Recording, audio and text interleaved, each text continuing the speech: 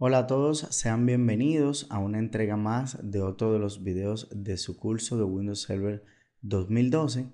En esta ocasión voy a mostrarle un punto muy importante en lo que es el ambiente inicial o lo que es los o lo que son los primeros pasos para trabajar con Windows Server 2012.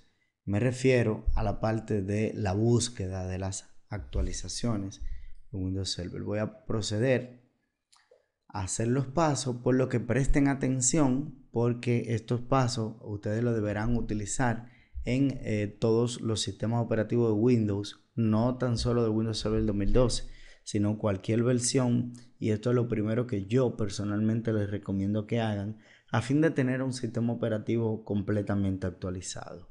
Vamos a ver los pasos y los pasos son los siguientes. Los pasos correspondientes son sencillos. Podemos ir directamente al panel de control, pues moviendo el mouse hacia la derecha y moviendo el mouse hacia la derecha vamos a llegar directamente hacia la opción de eh, que me dice a mí que, que debo seleccionar settings o debo seleccionar búsqueda, un ejemplo. Vamos a ver. Pasa que con máquinas virtuales se hace un poquito más difícil el manejo de esto. Podemos ir dándole clic en inicio directamente y nos vamos a control panel, panel de control. Una vez estamos dentro del panel de control, procedemos a ir a la opción de sistemas y seguridad y aquí dentro seleccionamos la opción de Windows Update. Le damos un clic y fíjense cómo automáticamente me trae una ventana bien parecida a la del Internet Explorer que ustedes conocen, vamos a decirle que yo quiero encender o turn off, turn on lo que es el Windows Update. Me dice aquí que está buscando actualizaciones siempre y cuando esté conectada al Internet.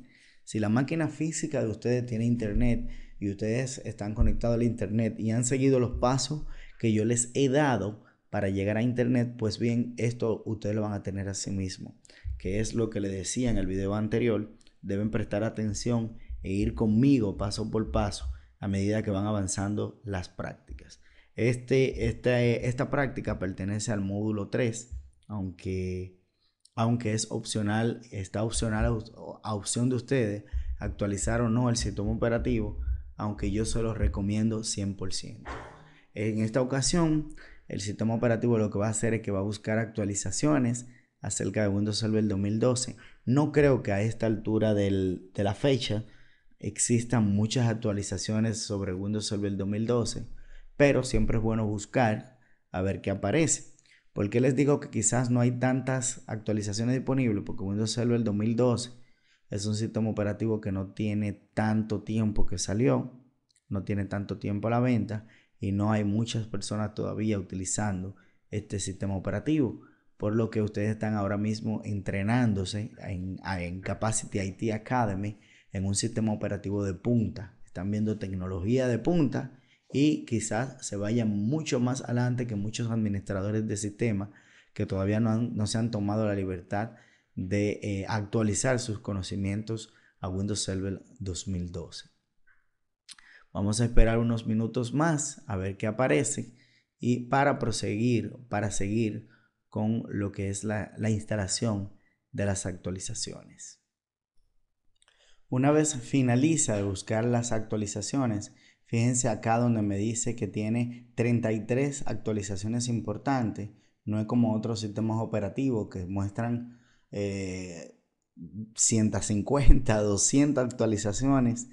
Miren como solamente encontró 33 actualizaciones, todas están disponibles y me dice que yo puedo instalarla. Eso es, inmediatamente yo le doy un clic aquí en 33 importantes actualizaciones. Me dice que estoy, eh, eh, estoy seteado para instalar las actualizaciones automáticamente.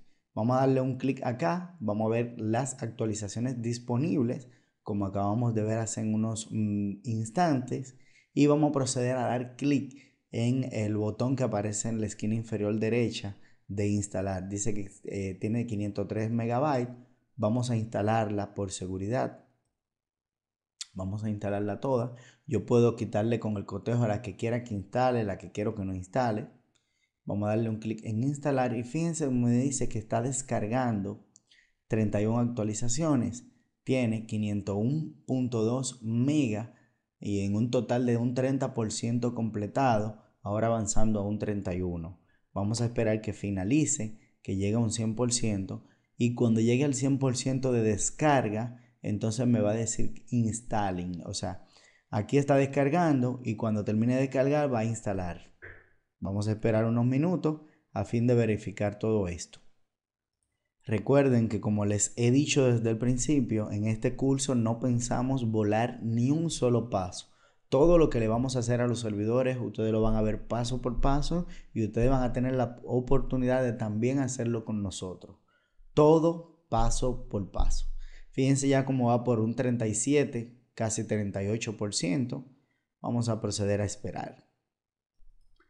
Fíjense como aquí ya eh, va por un 96% de descarga y aquí va avanzando un poco más. Dice que tiene 499.4 megas descargado de los 500 y algo que decía hace un momentito. Esto, significa, esto lo hace porque primero descarga todas las actualizaciones necesarias y luego de descargarla, fíjense como dice preparando para instalar, luego de descargarla lo que hace que procede la instalación de las mismas. Este, esto hace que el proceso sea mucho más rápido que en versiones anteriores. Miren aquí donde dice instalando actualización 2.3 de 31. Instalación 4 de 31 y así sucesivamente hasta que llegue a 31 de 31 y esto va a equivaler a un 100%. Está instalando Malicious Software Removal Tool para Windows 8 y Windows Server 2012 y esto toma un momentito. Vamos a darle un tiempecito más a fin de que finalice con el proceso de instalación de las actualizaciones. Fíjense como ya va por un 22 eh, de 31. Está avanzando bastante rápido. Les dije, todo depende de la velocidad del computador y en esta ocasión que está instalando específicamente eh, es depende de la configuración actual de la computadora.